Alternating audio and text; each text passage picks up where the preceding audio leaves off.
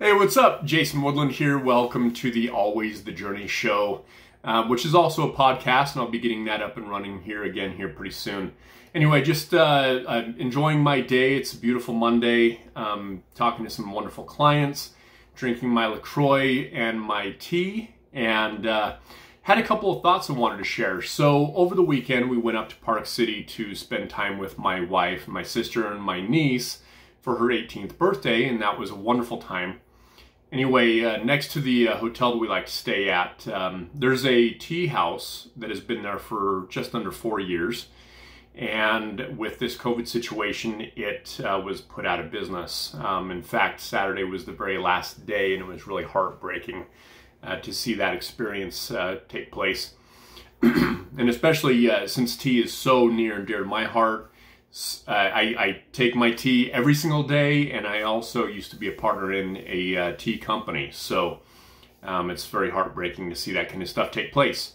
Anyway, um, a couple of uh, thoughts that I wanted to share. There's obviously a lot of changes and pivoting within business um, all around the world with uh, COVID 19 happening in 2020.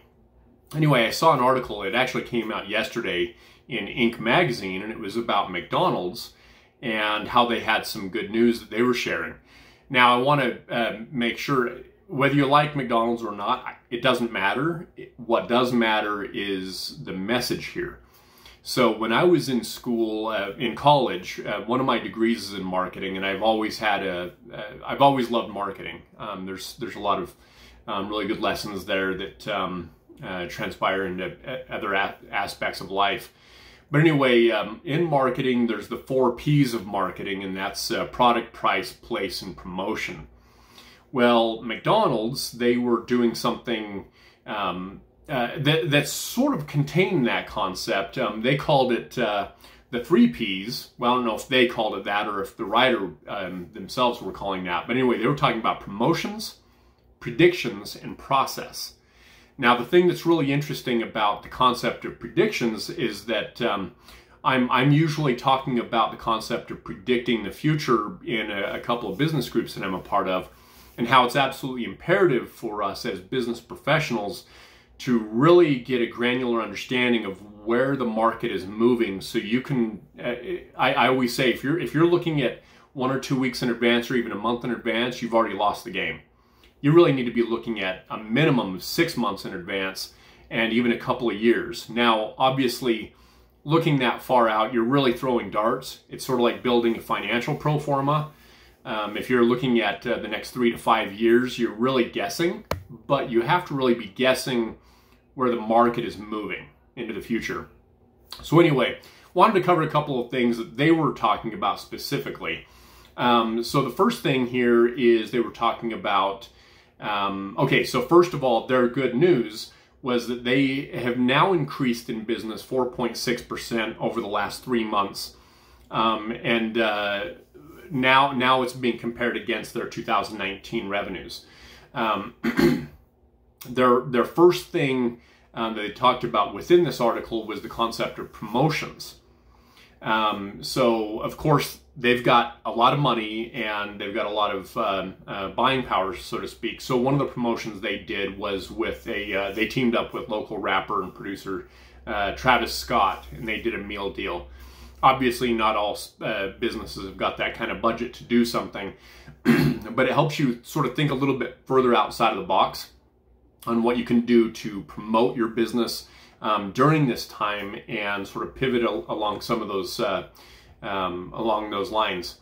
Um, second predictions, um, what they were doing is they they of course nobody could predict that there was a global pandemic that was going to happen in 2020, but you can predict what's going to happen in terms of technological changes and certain disruptions that take place.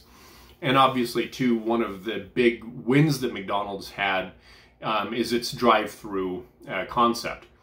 So what they did start doing though, uh, and this is sort of interesting because obviously McDonald's has always been popular for decades and decades and decades. But what they started doing after a little while is they started building out their menu and, and they, they in essence were trying to be everything to everyone. Well, anybody who's been in business that has attempted to do something like that has failed miserably. because you can't be everything to everyone. Period. There's there's no ifs ands or buts about it. So they they built out their menu. It started getting really big, and then they just started doing the uh, breakfast all day concept. Well, you know, I mean, I like the McDonald's hash browns, and being able to get the hash browns at any time of the day was sort of cool. But what that did is that it started slowing down their drive-through lines, and that's not a good thing. And so they pared down their menu, which was the first really good thing that they did. Um, they quit trying to be everything to everybody. Um, and then they they did the reinvent drive-through concept. So they actually put a lot of predict um, uh, money into predictive intelligence within their their drive-throughs, so they could run them through a lot quicker. Because if you remembered for a little while there, if you were ever going in through those drive-throughs, they were slowing down quite dramatically, and it was no longer a fast food concept. Um, again, this is not a, an argument whether you like fast food or not. It doesn't matter. Um, what it boils down to is what did they do before this happened, and what are they currently doing to uh, succeed during this this situation.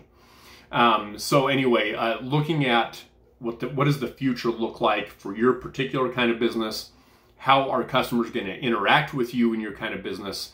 And make sure you try to get there before you have to.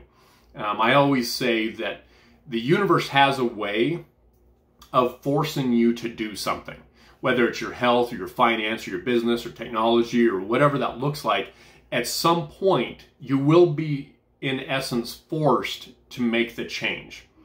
It's sort of like uh, the, the person that goes to the doctor and the doctor says, if you don't change your diet ASAP, you're going to have a, a year or two to live at the most and you're going to die. And then the person has that moment where they say, "Oh my gosh, like I, I, I, I need to make that change." Well, you need to make that change. Try to do it before you have to do it.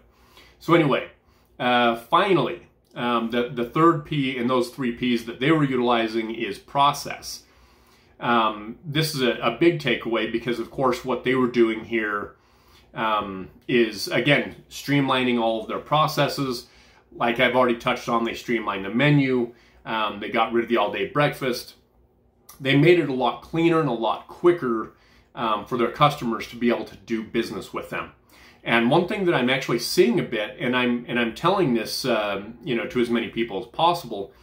First of all, support your local business. You know, I mean, there's a lot of businesses out there that are in, um, you know, dire straits. There's a lot of them that are stressing and struggling.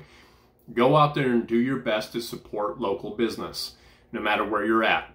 Um, the other thing on the flip side of that is for the businesses, I know it's tough because obviously there's a lot of requirements and there's a lot of mandates and a lot of those things happening. But do your best to make it easy for your client to do business with you. Um, there's been a couple of businesses here in, in uh, Salt Lake City, Utah, where I live, and I've, you know, my wife and I, we try to go out and we try to support locally as much as possible. And uh, there was a particular experience, I won't say who it is or where they're located or anything along those lines, but the hoops to jump through just to understand their menu and then to pay them was so much that it just didn't, I, it, it, it wasn't fun trying to interact with them and, and to do business. And then on top of that, the customer service was half baked to say the least. So make sure your customer service is, is turned up dramatically. This these are interesting, weird times, and customer service is king. Make sure you do your best to try to let your your uh, your customers do business with you um, as as easy as they possibly can. Of course, alongside of all the the uh, restrictions and, and all these things happening. But anyway, there's some good lessons here from from McDonald's like I said, uh, their uh, process, um, promotion, and um, uh, what was that? The third one that they were doing. So process, promotion, and prediction, of course. So try to predict what your customers want. Try to predict where your business is going to go. And just wanted to share a couple of those items there. Thank you very much for tuning in. I'm going to be spending a little bit more time on YouTube. I've always loved this platform. I've learned a lot from this platform. And uh, anyway, feel free to subscribe if you'd like, um, just by pushing the subscribe button. Um, push the uh, the like uh, or the dislike, uh, whatever works for you. um, and, and maybe leave a comment if you if you'd uh, be so inclined as well. Anyway, again, thank you very much for tuning in. I really appreciate your time. There's a lot of places you can look on on Facebook or on uh, YouTube. And uh, anyway, enjoy yourself and take care of yourself out there. Thanks.